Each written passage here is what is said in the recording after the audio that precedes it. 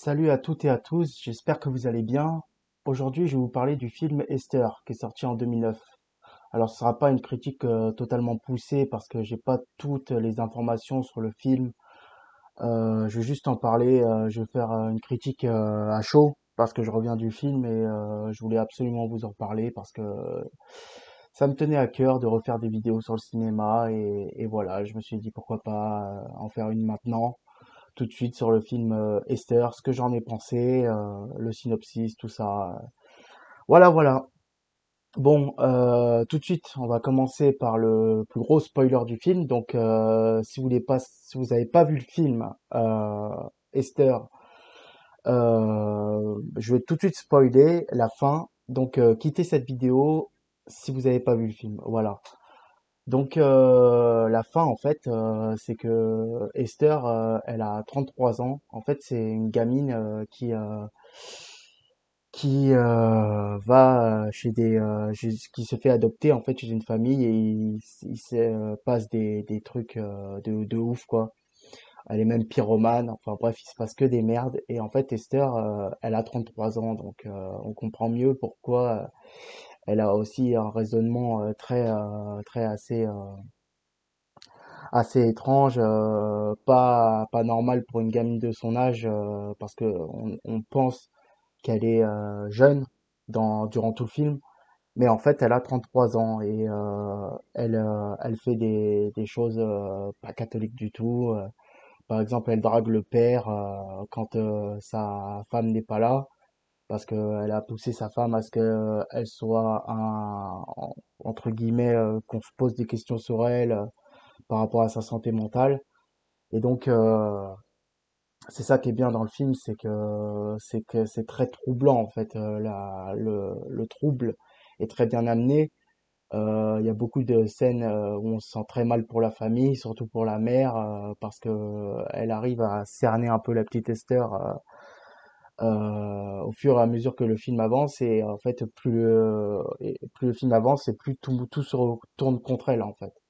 C'est ça qui est assez impressionnant, euh, c'est que c'est qu'elle est, euh, elle est jugée euh, pas normale alors que, alors que en fait, euh, elle a totalement raison sur toute la ligne. C'est que Esther est dangereuse.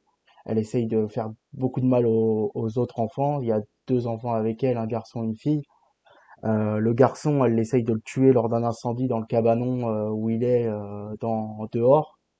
Elle essaye de le tuer dans un incendie. Ensuite, euh, la petite fille, euh, elle essaye de la tuer dans un accident de voiture. En fait, elle attend que la mère soit partie et elle met au point neutre la voiture et elle enlève le point mort du coup et la voiture, elle commence à partir, elle commence à, à reculer le long d'une pente comme ça quoi.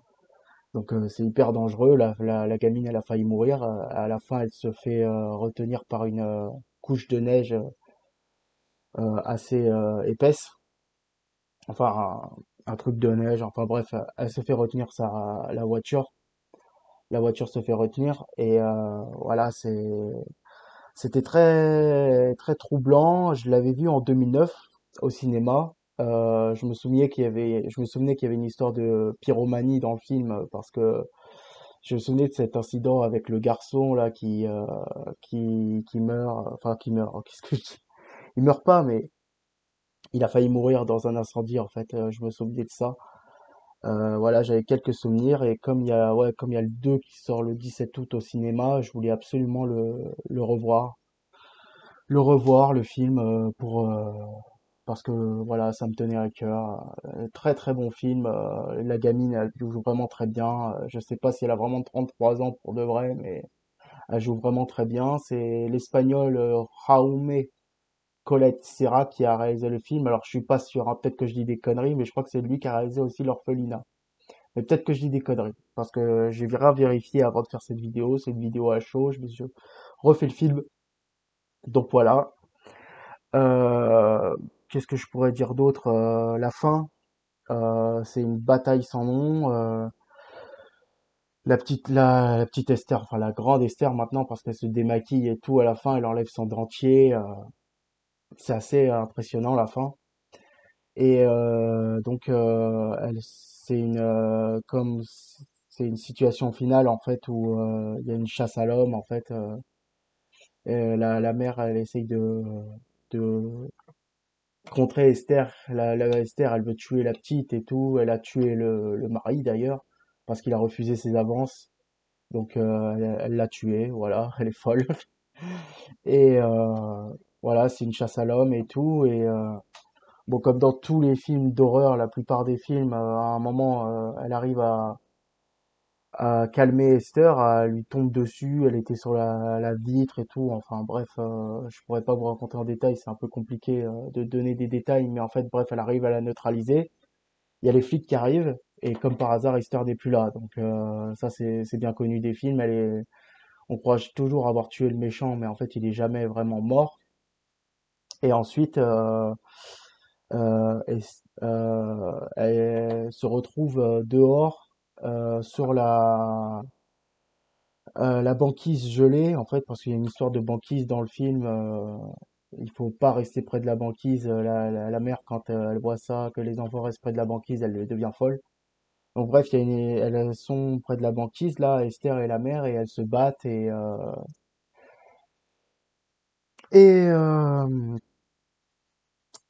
il y a, y a Esther qui arrive à qui arrive à, presque prendre le dessus sur la mer. euh, Elle l'a, elle l'a fait plonger dans l'eau euh, glacée et tout. Et ça se passe mal pour la mer. Elles se débattent dans l'eau et euh, après, après, au final, il y a, y a, y a Esther qui, elle arrive à se, se mettre hors de l'eau, de la, la mer. Et, et euh, oh, je sais plus ce que je voulais dire. Enfin bref, bon, c'est pas grave. Je, je, j'arrive plus trop à trouver mes mots. Mais bon, c'est pas grave. Euh, je vous conseille d'aller voir le film. Euh, franchement, il est bien. Euh, de faire un petit rattrapage avant la, la, le 2 qui sort les origines euh, au cinéma. Et, et voilà. Et voilà, c'est un très bon film. Euh, franchement, ça vaut le coup. Je vous remercie. C'était une petite critique, petite critique à chaud. Euh, je trouvais trop plus trop mes mots sur la fin parce que c'est compliqué de de raconter les détails du film. Je pense qu'il faut mieux voir le film, c'est tout simple. Voilà, de raconter les détails, ça sert pas trop à grand chose. Je tournais un peu en rond. Mais bon, voilà, c'est une petite critique à chaud. Et si vous avez, si vous avez visionné jusque-là, je vous remercie. Et euh, allez au cinéma, regardez des films chez vous, Netflix, Amazon Prime, Disney+. Euh, Il y a de quoi faire. C'est très important de regarder des films, c'est bon pour la santé mentale. Et voilà, je vous remercie. C'était Tyler Durden au rapport. Et voilà. Je vous souhaite une bonne soirée, une bonne journée, un bon week-end. Peu importe, abonnez-vous, commentez, partagez, ça fait plaisir.